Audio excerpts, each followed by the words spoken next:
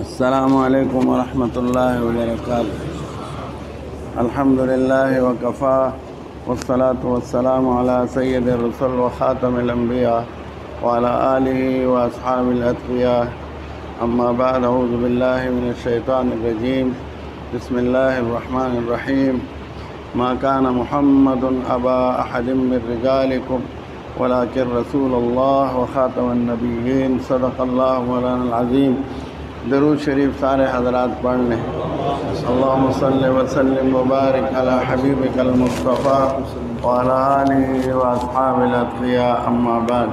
معزز، محترم، حضرات علماء کرام اور حضور انور صلی اللہ علیہ وسلم کے عاشق ہو، یہ تقریر مناسب بھی نہیں ہے کہ حضرت دامت برکاتہم اللہ ان کی زندگی، عمر، صحت میں مزید اللہ تعالیٰ ترقی عطا فرمائے، جو کچھ ارشادات فرمائے، ہمارے لیے وہ کافی ہیں۔ اور ہم انہیں یقین دلاتے ہیں، انشاءاللہ عالمی مجلس تحفظ ختم نبوت اور ہمارے اکابر جس طرح قدم بڑھائیں گے، یہ سیاست کی بات تنہا نہیں۔ اور ہماری سیاست بھی دین کے لیے ہے۔ جو لوگ یہ کہتے ہیں، یہ سیاست کے لیے کرتے ہیں، ہماری سیاست، ہمارا سب کچھ اللہ کے لیے اور دین کے لیے ہے۔ حضور اقدس صلی اللہ علیہ وسلم کے ذات اقدس کا معاملہ بے انتہا حساس اور نازک ہے۔ اور اگر قادیانی باز نہ آئے تو وہ سن لیں کان کھول کے اور ان کو سپورٹ کرنے والے بھی سن لیں۔ یہ ملک ہمارا ہے، محمد مصطفیٰ صاحب کے غلاموں کا ہے، یہ قادیانیوں کا نہیں ہے۔ ملعون مسرور نے تو صاف کہہ دیا، اس سے کہا، اسلام آباد اب جاؤ، مرکز نے کہا نا ہمارا مرکز تو قادیان ہے۔ انہوں نے پاکستان کو تسلیم نہیں کیا۔ وہ پاکستان کے دشمن۔ علامہ اقبال مرحوم نے یہ فرمایا تھا کہ ملک و ملت کے غدار ہیں اور جتنے مشکلات پاکستان پر جنگوں میں آگے پیچھے، یہی ملعون اس کا ذریعہ اور سبب ہیں۔ تو اگلے پچھلے کثر انشاءاللہ چکائے جائیں گے۔ یہاں سوال ہی نہیں پیدا ہوتا کہ ناموس رسالت پر کوئی آنچ ہم آنے دیں گے۔ یہ کروڑوں مسلمان، قبائل سارے، پتہ چل جائے گا تمہیں۔ ہم قادیانیوں سے وہ ہزاروں، دس ہزار ایک دن میں جو مسلمان ناموس رسالت پر قربان ہوئے، ان کا بدلہ بھی چکائیں گے انشاءاللہ۔ یہ بھول جائیں۔ اگر قانون کو چھیڑا گیا تو پھر خود بخود پھر قانون آئے گا صحابہ والا۔ پھر ہاں پھر کہ گستاخ کا سر پھر کیا ہوگا؟ تن سے جدا۔ پھر یہ نہیں ہوگا۔ جب قانون نے تم خود لا قانونیت لا رہے ہو، تم ملک کو خود تباہ کرنا چاہتے ہو۔ اور حضرت نے جیسے فرمایا، یہ ٹرمپ ملعون کاش آپ اس ملعون تک ہماری تم عیسائی ہو، عیسائی بتائیں۔ حضرت عیسیٰ علیہ السلام کو اس نے اتنے کفریہ بکواسات کی ہیں۔ بے غیرت و بے شرم ہو، ناموس رسالت کا بل تو صرف حضور پاک کے ناموس کے لیے نہیں، تمام انبیاء علیہ السلام کے لیے۔ حضرت عیسیٰ علیہ السلام کے لیے بھی ہے۔ ہم تو حضرت عیسیٰ علیہ السلام کے بھی دفاع کرنے والے غلاموں میں شامل ہیں۔ تمہیں شرم نہیں آتی، بلکہ میں کہتا ہوں، حضرت سے کہتا ہوں، یوں وکلا سے کہتا ہوں کہ آپ ایک باقاعدہ دستاویز بناؤ۔ اور امریکی سفارت خانے کو اور ان کے وساطت سے ٹرمپ کو، ان کے سینیٹروں کو بھیجو، ان کو کہو ظالموں ان کا تم تحفظ کر رہے ہو۔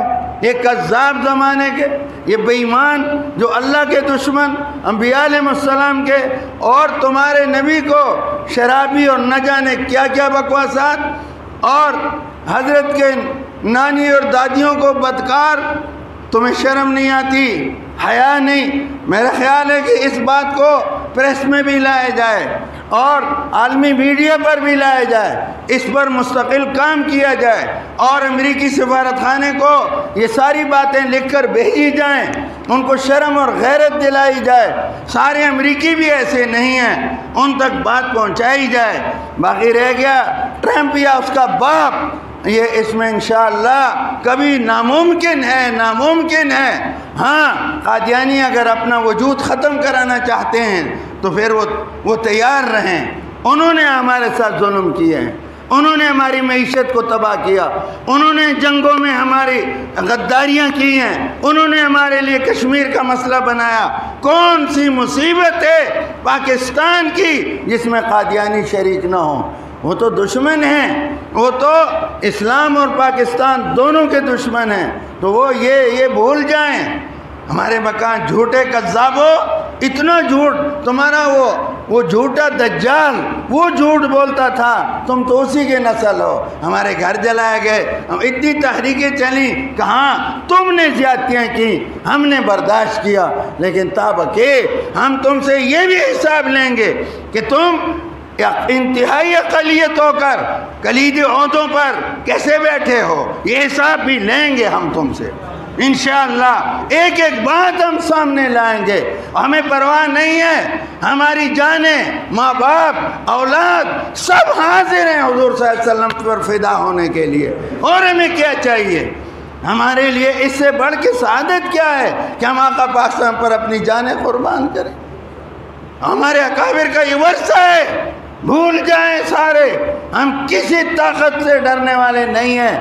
اور میں سب کو کہتا ہوں اور تم انبیاء علیہ السلام کے بعد تمہیں کنجریوں کی اولاد، خنزیر کی اولاد کہا ہے۔ جتنے بھی اس پر ایمان لانے والے نہیں ہو، وہ چاہے فوجی ہیں، چاہے وہ وزیر ہیں، چاہے وہ تاجر ہیں جوان ہیں، بوڑھے ہیں، مرد ہیں، عورتیں ہیں۔ تمہیں خنزیر کی اولاد، جنگل کنجریوں کی اولاد تک لکھا ہوا، یہ موجود ہے اس غلیظ کا بکواس۔ اور پھر تم، پھر بکواس تو ان کی طرف سے ہے۔ ہمیشہ امن ہوتا ہے، کہیں نہ کہیں بےمان آ جاتے ہیں۔ پھر یہ ملک کا قانون ہے۔ یہ قانون ہے ملک کا۔ کہ تم نے پکڑا، مجرم کے حیثیت سے پکڑا، اور پھر اس کو کیسے پہنچایا؟ اس کا پتہ بھی لگنا چاہیے۔ یہ کون ملعون تھا جس نے اس کو وہاں بھیجا؟ اور نثار ملعون۔ وہ ملعون۔ وہ وہاں کا خمیر۔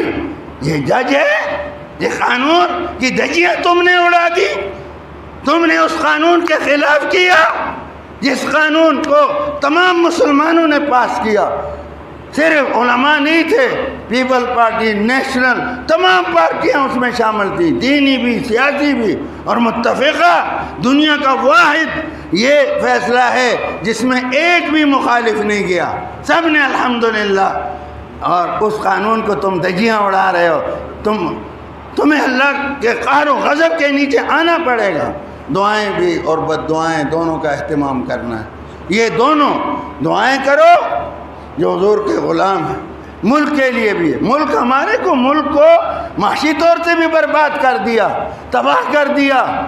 اب مردہ دفنانا مشکل، کفن مشکل، سارے کام مشکل، یہ بھی ہو رہے ہیں۔ ادھر سے اب ہم سے ایمان لینا چاہتے ہو؟ یہ ہمارا آخری سہارا ہم سے لینا چاہتے ہو؟ نہیں ہوگا نہیں ہوگا، کبھی بھی نہیں ہوگا انشاءاللہ۔ آپ حضرت تسلی رکھیں، انشاءاللہ پوری قوم اٹھے گی۔ تمام جوان، بوڑھے، مرد، عورتیں پورے ملک میں ہم اٹھیں گے انشاءاللہ۔ اٹھیں گے۔ حضور تو ہمارا آخری سہارا ہیں رحمت اللہ عالمین ہے۔ مزید تقریر نہیں کروں گا۔ حضرت نے بہت کچھ فرمایا۔ اس آواز کو گلی۔ ہر گھر کے اوپر آج سے لکھ دو۔ تاجدار ختم نبوت زندہ باد۔ ختم نبوت زندہ باد۔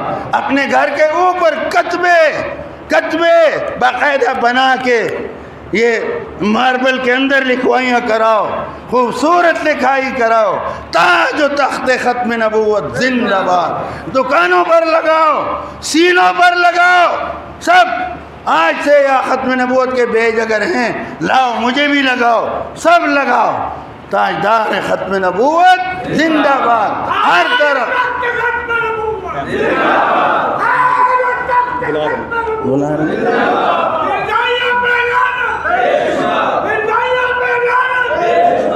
الحمد للہ رب العالمین الصلاۃ والسلام علی حبیب الکریم وعلا علیہ وصحاب اجمعین اے قدیر اللہ قوتوں کے مالک اللہ کی طاقت کے سامنے کون ہے نہ فرعون ٹھہر سکا، نہ نمرود ٹھہر سکا، نہ عاد و سمود اپنی قدرت قاہرہ سے اپنے حبیب سم کے دشمنوں کو مٹا دے۔